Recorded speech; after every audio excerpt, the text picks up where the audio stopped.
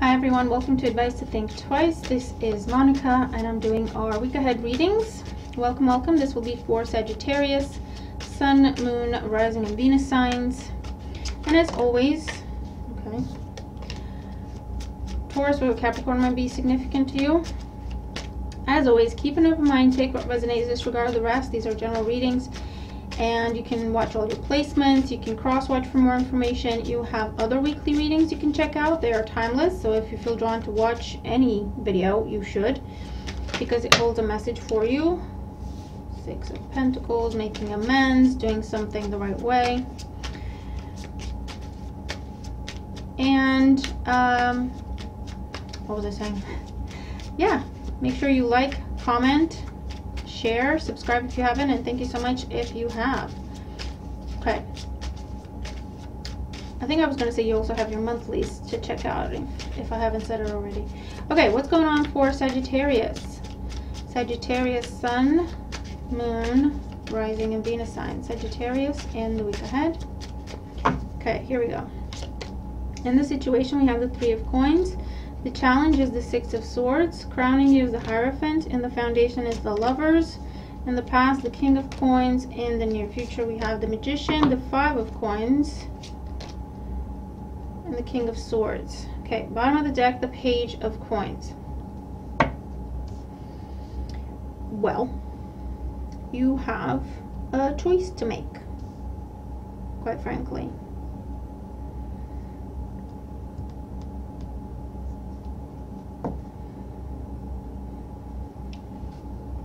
There is there's a conversation that has to be had okay?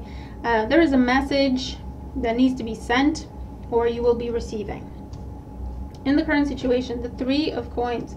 So you might be stuck between two people or two opportunities in terms of job or where to take your business or do you team up with this person or that person. Your challenge is you're going to have to pick one and walk away from the other okay and that's what's in your foundation as well with the lovers. This is your choice. Which one do you commit to? You have someone in your past the king of coins. This is something you're familiar with someone you're familiar with something you or someone you have history with. Crowning you as the hierophant you have to make a commitment. You have to make a commitment. The new is this king of swords that's your choice between an earth sign and an air sign. Taurus, would be Capricorn, earth signs. Air signs are Gemini, Libra, Aquarius. So for some of you, it's quite plain and simple. You might be stuck on an air sign in the foundation and you've recently met an earth sign, or you might be going back and forth with one and you've recently met someone else, or I don't know what the dynamic is.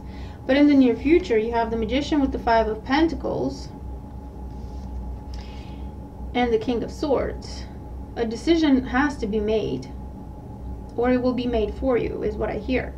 So if you take too long, you'll be left with no choices, or you will be left with it's not necessarily right and wrong choice, but you'll be left with not the best one. Let's put it that way. Because I feel like you're dealing with this is what I'm seeing, okay? Whether it's in love or to do with your career or to do with your money prospects or whatever.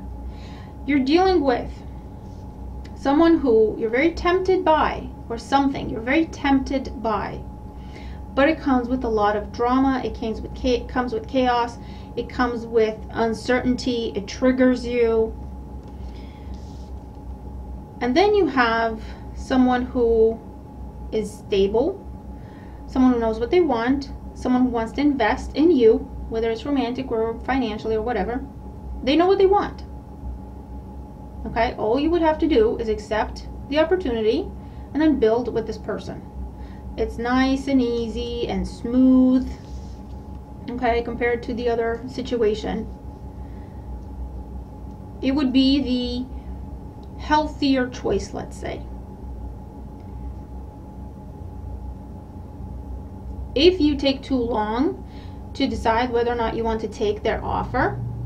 This uh, stable individual, this uh, earth sign energy, they don't have to be an earth sign, but you know what I mean? If you take too long, they will withdraw their offer. They will leave because they will see that you're just not on the same page with them. They know what they want. They know they want you. So if you take too long to figure out if you want them to, to them, that's okay. That's fine. It just means we're not for each other. And they will leave. And what's going to be left is this other individual that or this other situation or this other opportunity there's this chaos and conflict and difficult and challenging and it's tempting but it's painful. And that will be what you will be manifesting in terms of what you will be committed to. Not necessarily that they'll be committed to you as well okay? This is what you'll be loyal to for years and years in your life to come so sagittarius be very very careful and make healthy decisions at this time with the Hierophant and the Lovers and the Magician because you're manifesting the next decade of your life. Okay, I want to say that. So let's get another row out here for Sagittarius with the Three of Coins, the Two of Coins. Yeah, decisions, decisions. Six of Swords, the Three of Wands. Yeah, same thing. With the Lovers, King of Wands. Now we have another King out. With the King of Coins, Five of Cups. With the Hierophant, Eight of Swords. And then in the outcome, the Knight of Coins, Strength, and the Knight of Cups. Okay. Under the Page of Coins, we have the Sun, Queen of Cups, Ten of Cups, Four of Swords. Okay, yeah. So see, you have been stuck on someone or something. You put your heart into it. Queen of Cups, Ten of Cups. You had something with them. Okay, this is someone in your past because you in your past you have the Five of Cups. This is what you've been dealing with. When you came across this new individual, right? Or they came across you. There's a lot of attraction, chemistry, passion. It's typical lover's energy, okay? One offer, one opportunity is passionate, it consumes you, it tempts you, you feel like you have no control over it, and it can lead into the devil energy, right? It can get obsessive. And the other choice is healthier, more stable, safer, if you want to see it that way, right? It's your choice. What do you choose?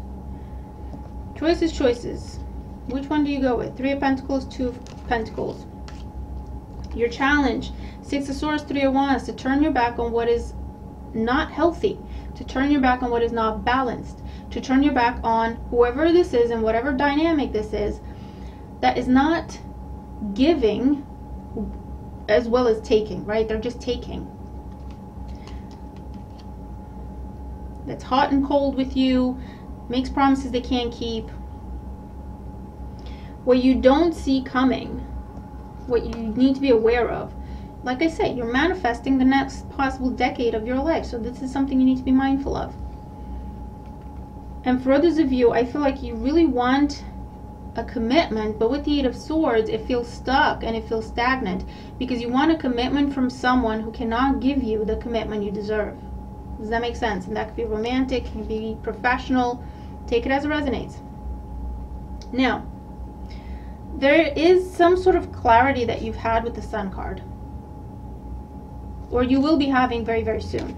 And it could be with this offer that is presented to you, with this conversation that is had, with this opportunity that is presented to you, you have this clarity with the Sun card where you see it for what it is. It's stable, it's reliable.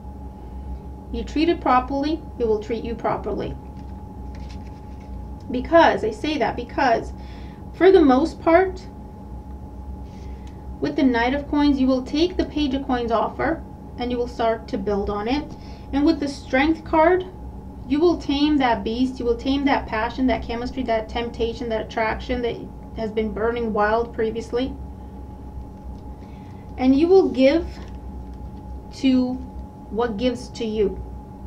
Okay, you will meet someone in the middle, and I feel like with this page of coins here, you will take the, the page of coins. You will take the page of coins and you will meet them in the middle. So Sagittarius, you're breaking some bonds here you have learned some lessons and you are taking control of something that previously you felt like you had no control over yourself when it comes to this person or this situation. But it always came in, it burned bright, and then it left you feeling cold and empty and abandoned. Okay? This time, and it can be because it's the Mercury retrograde, right? You're reassessing the situation. Where this person from the past might be trying to come back around, and that's why you're put in the situation where you have to choose between, okay, what am I going to do? And if you've met the new person or this new situation, this new dynamic has presented itself yet or not, the choice is still there. Do you repeat the past? Do you go back to the past? Or do you make a different choice? Choose a different course? If you choose a different course, this opportunity will present itself to you instantly. Okay? If it's not here already. For those of you, it's here already. Okay? But you are breaking this pattern. Taking your power back for the most part, taming that beast, taking charge of that passion, not letting it consume you. And you're saying, I choose to give to what gives to me. Okay? And you're about to embark upon a beautiful new, long lasting, with the Hierophant, healthy commitment in your life. So good for you, Sagittarius. Good for you. Okay? So let me know what this is about for you, uh, if you feel comfortable sharing. But I really hope the reading helps you.